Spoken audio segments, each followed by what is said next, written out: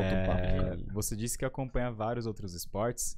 E eu queria saber se você acompanha no mesmo estilo que você acompanha o futebol, com uma certa imparcialidade, porque gosta da modalidade, ou se nessas, nesses outros esportes você assiste de uma maneira mais passional. Eu acho, calma aí, a gente tem que separar, porque eu acho que cada um é uma intensidade diferente. Automobilismo, gente, eu sou completamente imparcial. Eu não sei o que aconteceu, porque. Tá. Vamos falar de, de como começou no automobilismo também. É recente, e o meu padrinho, ele conta. Meu padrinho também é muito influente na minha vida, e ele conta que quando eu era pequena, e ele, todo domingo de manhã, quando eu dormia em, cada, em casa a cada quinzena, ele ligava pra assistir Fórmula 1. E aí eu deitava com a mamadeira, tipo, no sofá e ficava só de olhinho de lado, assim, prestando atenção, ouvindo o motor e o, e o narrador, tipo, ah, Vettel e Hamilton, os dois brigando. Tanto que eu tenho um apreço muito grande pelo Vettel, mas ele aposentou recentemente, então agora não tenho ele pra. não acompanhei tudo que eu queria dele. É, e assim, no automobilismo é muito louco, porque eu me apaixonei pelo esporte ali muito rápido. Eu lembro até hoje, primeira corrida é, de 2021, eu acho. Tá, acho que foi 2021. Nas últimas voltas, Hamilton e Verstappen.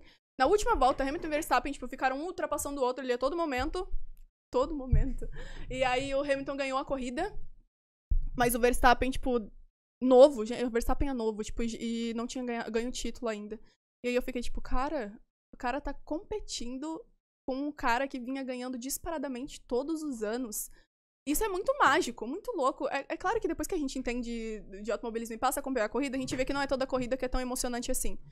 É, e aí aquilo ali acen- acendeu na hora. Eu dei muita sorte de pegar uma primeira corrida assim. E aí eu fiquei muito curiosa. E aí eu tinha gostado muito do Verstappen naquele dia. Eu falei, pô, esse menino é muito massa.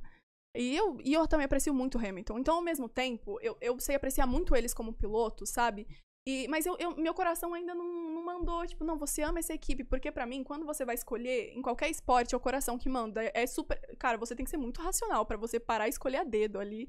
Qual time você vai torcer, qual atleta você gosta mais. Isso acontece, é natural.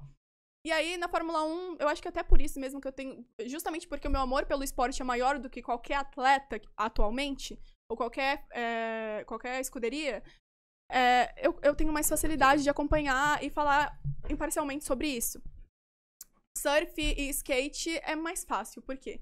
Porque não tem rivalidade entre os atletas brasileiros, entendeu? Sim, você pode torcer pra todos. É, é, exatamente. Claro que o coração fala assim, não, você gosta mais do, do Kelvin Hoffler, você adora a Pamela Rosa, mas, ao mesmo tempo, o Brasil no topo sempre fica, nossa, quando a Raíssa ganha, gente, eu fico, quando, quando eu vejo alguém caindo do skate ali, eu tava torcendo pra isso, tipo, cai, cai pra Raíssa levar. e aí ela, ela acerta a última manobra, que era, tipo, ou acerta ou perde. É muito louco. E aí, acompanho assim também. E NFL e NBA, torço pro Lakers e pro 49ers, então. Mas eu sei apreciar ao mesmo tempo, sabe? Tipo, pô, o Lakers. O que, que o Lakers fez essa temporada? Tipo, pô.